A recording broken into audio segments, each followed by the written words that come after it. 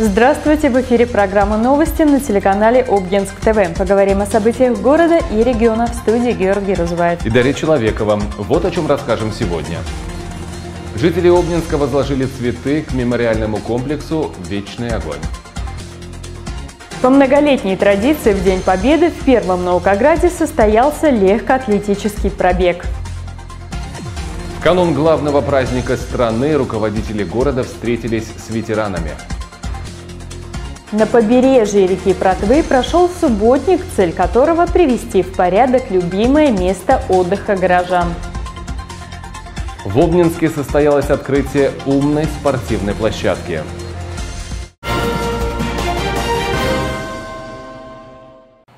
Обнинск вместе со всей страной отметил самую значимую дату в истории России – День Великой Победы.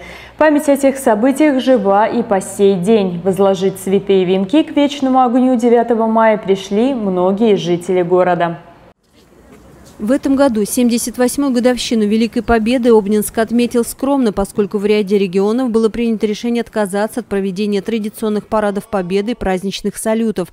Калужская область не исключение. Помимо этого, по соображениям безопасности по всей России было отменено шествие бессмертного полка. Тем не менее, в 9 утра у Вечного огня прошла лития по погибшим воинам в Великой Отечественной войне 1941-1945 годов, которую служили настоятели нескольких святых храмов Нукограда.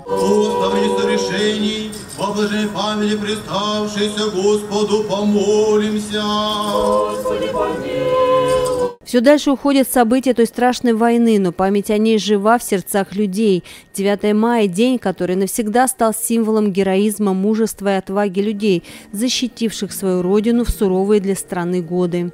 И эта страница в истории страны, опаленной войной, не подлежит забвению, особенно в сегодняшних реалиях. 9 мая – это святой для всех нас праздник.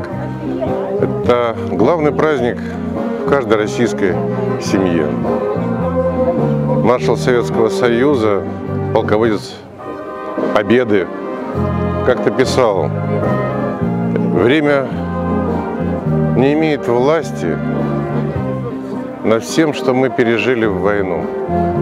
А народ, переживший большие испытания, и дальше будет черпать силы в этой победе. И сегодня, когда наша страна снова доказывает право на жизнь,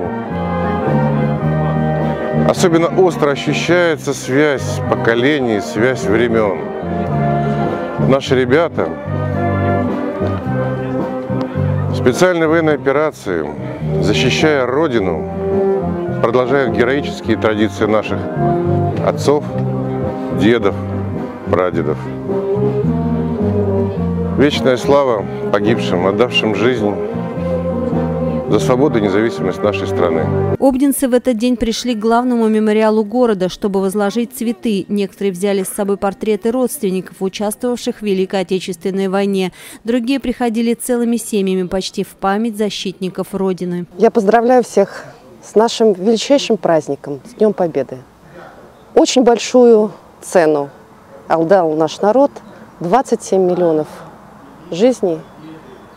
Сегодня мы чествуем наших ветеранов, участников Великой Отечественной войны, блокадников, всех, кто прошел эти непростые годы. Сегодня мы поддерживаем наших ребят, которые находятся на специальной военной операции. Желаем их новых побед и очень ждем их домой. Еще раз хочу поздравить всех с великим праздником.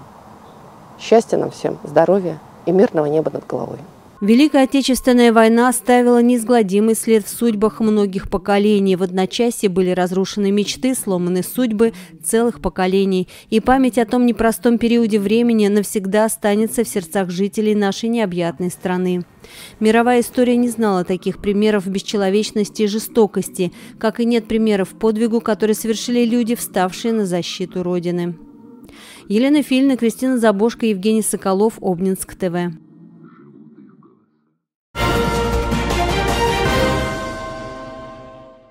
Утром 9 мая многие жители города приняли участие в легкоатлетическом пробеге Обнинск-Стрелковка.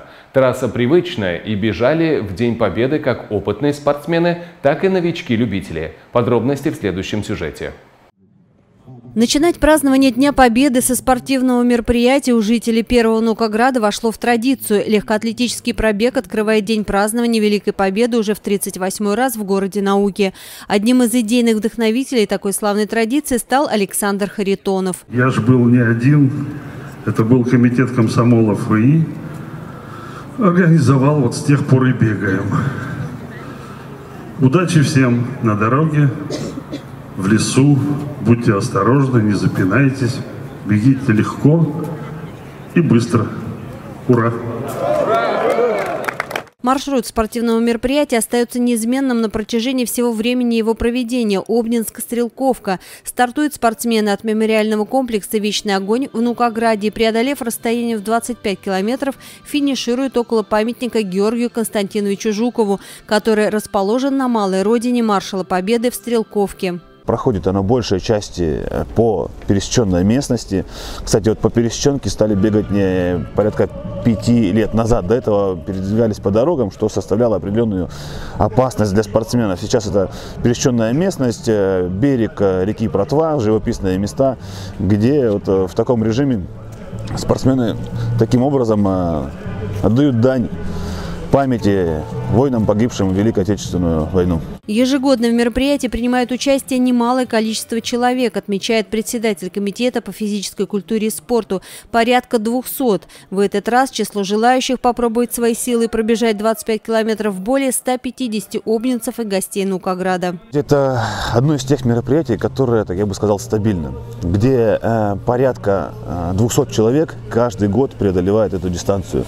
Э, лимит участников э, ограничен в 300 человек, да, и по понятным причинам, так как мы просто больше объем на такое расстояние не сможем э, обеспечить должную организацию проведения мероприятия, должную безопасность. Поэтому вот порядка 150-200 человек каждый год участвуют в этом празднике. Это очень приятно. Мы первые 9 мая примерно в 7 утра приходим сюда и уже много лет этот праздник открываем. Перед началом основной части спортивного мероприятия участники почтили память воинов, павших за мирное небо минуты молчания и возложили цветы к мемориалу. А затем легкоатлеты отправились преодолевать маршрут, который не меняется уже на протяжении более 30 лет. Елена Фильна, Кристина Забошко, Евгений Соколов, Обнинск ТВ.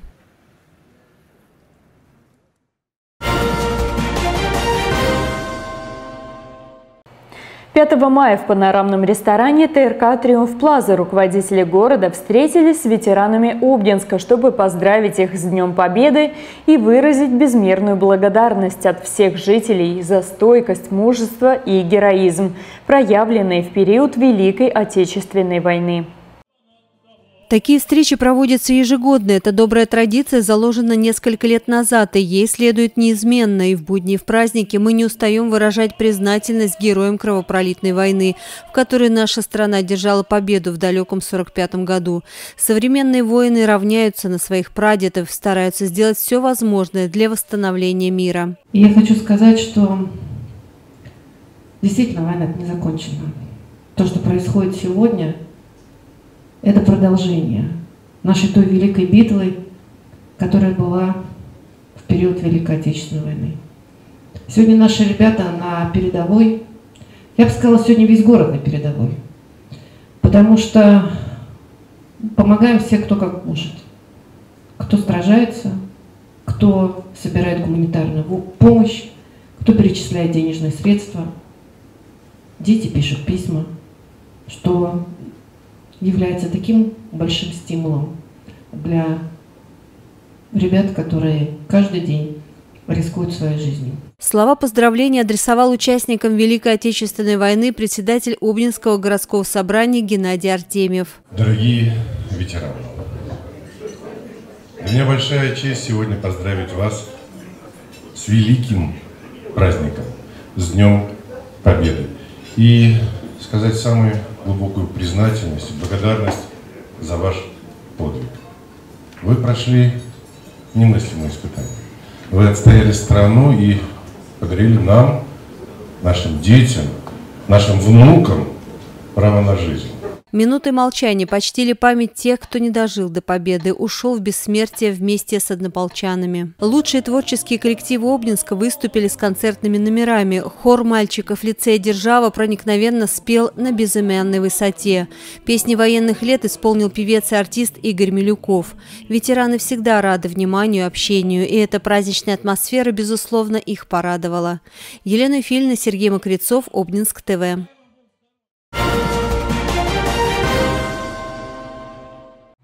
Недавно на побережье реки Протвы прошел субботник в рамках всероссийской акции «Вода России». Такие акции проводятся не первый год на берегах разных водоемов – в Калуге, в Малоярославце, в Обнинске. Вот и в этот раз неравнодушные жители вышли прибрать берег реки решили разбиться на две группы. Одна начинала от городского пляжа и двигалась в сторону ангара подводников, а другая группа стартовала от ангара подводников и двигалась вдоль бетонной дороги и в направлении горнолыжки. В прошлом году с территории около Протвы было вывезено два контейнера по 8 кубов. В основном это последствия праздничных посиделок. Тогда над очисткой берега работало порядка 60 человек. Ну, это еще последствия осталось наводнение, которое было. Вот вода сошла, эта грязь осталась. И сейчас, конечно, погода по выходным налаживается, поэтому люди выходят да, на пикники и, соответственно, оставляют мусор. Ну, в планах у нас сначала сейчас мы убираем мусор, потом завезем сюда песок. Э, говорится, сам пляж приведем в нормальный вид и посмотрим, скамейки покрасим, эти грибочки, которые уже полюбились людям. И, соответственно, ну, кабинки, слава богу, у нас, как остались нетронуты пока вандалами. Когда объявили о субботнике, обнинцы писали в социальных сетях, что какой в этом смысл, если все равно в реке не искупаться, она грязная, и сбором пластиковых бутылок по кустам качество воды не улучшишь. У нас в рамках нацпроекта экологии сейчас разрабатывается, уже второй год как разрабатывается проектная документация по расчистке реки Протвы. А, она затронет три муниципальных а, района, по которым протекает эта река. Общая протяженность предполагаемой расчистки 25 километров. И мы надеемся, что эти мероприятия гораздо улучшат состояние реки Протвы. Но, конечно, безусловно, необходимо, чтобы и территории прилегающие содержались в порядке, ну и минимизировать сбросы загрязняющих веществ в водный объект. Расчистка по линии Росводресурсов, она направлена на улучшение именно экологического состояния водных объектов. Она включает в себя изъятие донных отложений, прежде всего, да, изъятие донных отложений, очистка прибрежной территории, очистка акватории воды от залежей э, топляка, потопленных старых деревьев. Галина Федулова подчеркивает, что чистые берега важны для состояния водоема. Порой этот аспект недооценивается. Мусор, который попадает с берегов в воду, загрязняет ее еще сильнее. Загрязнение пластиком – серьезная проблема сегодняшнего дня. Опасно это и для обитателей реки, и для людей, использующих эту воду, купающихся в ней. Так что прибранные берега – немаловажная составляющая чистоты водоема. Не так уж много времени осталось и до начала купального сезона. Открывается он 1 июня. Хотя в Протве и не рекомендуется Научиться купаться люди все же это делают, и оборудованное для купания место в Обнинске только одно – городской пляж. Здесь дежурят спасатели, здесь есть раздевалки, здесь чистят дно перед началом сезона. Это первое мероприятие, ну, такое большое мероприятие по очистке территории городского пляжа. Э, мы еще будем завозить песок, э, постригать э, траву, косить и делать стенды информационные разместим, обследуем дно, расставим буйки, э, Заявку на водолаза мы отправили, они приедут, обследуют дно, чтобы жителям, э, отдыхающим на территории городского пляжа было безопасно проводить здесь время в реке Протва. Сгоревший ранее вагончик спасателей восстановлен пока не будет. Дежурить планируют на автомобиле с 9 до 18 часов. Все необходимое в автомобиле есть, в том числе аптечка для оказания первой помощи, успокаивает Сергей Краско. Дмитрий Глухов, Евгений Соколов, Обнинск ТВ.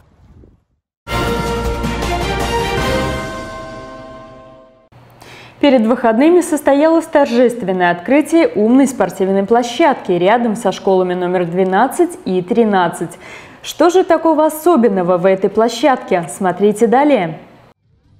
Ранее стадион находился в довольно плачевном состоянии, строили его достаточно давно. Обновление затронуло весь объект, появилось футбольное поле с искусственным покрытием и прорезиненными беговыми дорожками, небольшая трибуна, волейбольная и баскетбольная площадки, а также комплекс для воркаута. Стало возможно обновление благодаря проекту «Бизнес Спринт», стоимость более 35 миллионов рублей. Так почему же площадка умная? Дело в том, что данное спортивное сооружение оснащено Wi-Fi на всей его площади. Также на каждом из снарядов наклеен QR-код, переходя по которому вам система доступно и подробно рассказывает, как вы можете заниматься на этом тренажере, какие упражнения здесь можно выполнять. Дает рекомендации тренеров для спортсмена разных э, веса и возраста. Константин Олухов говорит, что в дальнейшем будет предусмотрена система, которая будет работать на вас лично. Сканируешь QR-код, вводишь свои параметры и система подсказывает, какие упражнения лучше выполнять на тренажере. Министерство спорта Российской Федерации по программе «Бизнес-принт» строит достаточно большое количество вот таких умных спортивных площадок по всей стране. Этот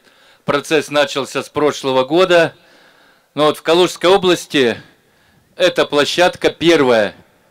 И не случайно она первая в городе Первых, в городе Обнинск.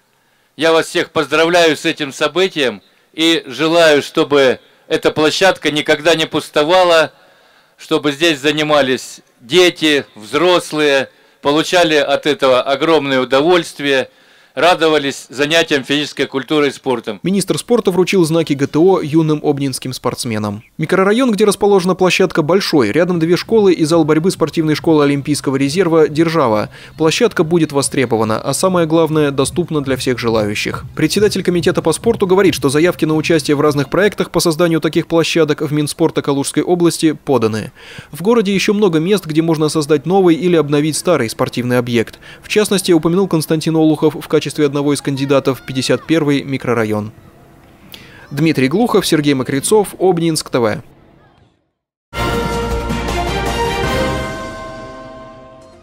Это все на сегодня. Следите за нашими новостями в группе Обнинск онлайн ВКонтакте, Телеграм-канале, а также на YouTube-канале. Об интересных событиях в Мелкограде и окрестностях расскажем в очередном эфире программы «Новости», которая выходит по будням в 19 часов. До свидания.